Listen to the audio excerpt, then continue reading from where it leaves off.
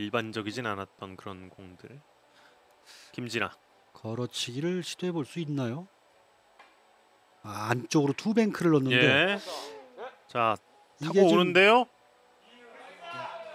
네. 네. 지금 벽을 득점. 탔군요. 지금 예. one bank가 된 거거든요. 그렇죠. 그래서 쿠션 맞고 공 맞고 그럼 two 쿠션이 맞죠? 잔 그렇죠. 쿠션을 예. 탔다는 얘기예요 여기서. 보시죠. 하나, 둘. 예. 이제 오른쪽을 네.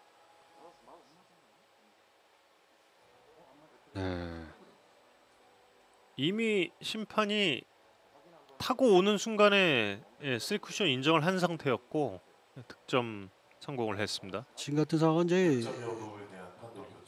예, 득점 여부에 대한 판독 요청을 지금. 이제 쓰리 쿠션이 좀 명확하게 보이질 않았거든요. 예. 그래서 지금 상대 팀에서 한번 어필을 한 것 같아요.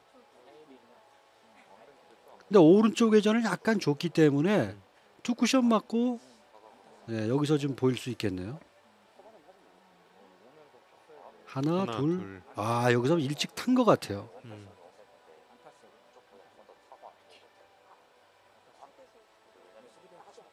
정말 판정하기 힘들 때 나오죠. 이게 당구 경기입니다. 예. 아 지금 계속 살펴보고 있는데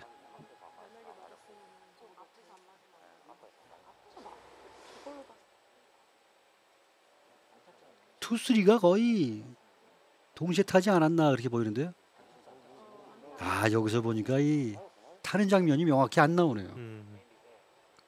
안 타고 이 길로 이렇게 올 수가 있나요? 그렇게 갈 수 있습니다. 음. 왜냐하면 오른쪽에 약간 회전이 들어갔기 때문에 예. 여기서 그냥 일자로 그냥 올라갈 수가 있는 거죠. 판독 결과가 어떻게 나올지 궁금해지는데요.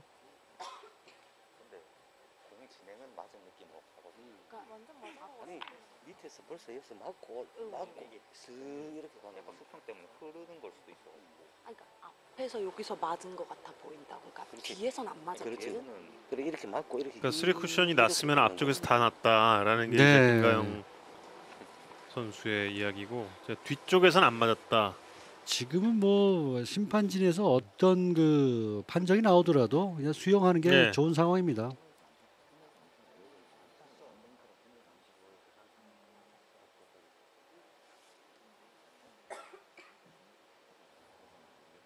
저 코너 쪽을 잘 보시죠. 네, 지금 이건 명확하지가 않아요. 쓰리 쿠션이 현재.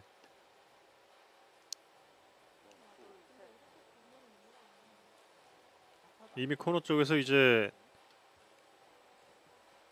조명상 주심이 두 점 인정을 한 상태였는데 이 보시죠. 각에서 보면 또 타고 간 것처럼 예. 보이거든요. 그러나 지금은 레일 쪽에서 심판이 정확하게 볼 필요가 있었어요, 지금.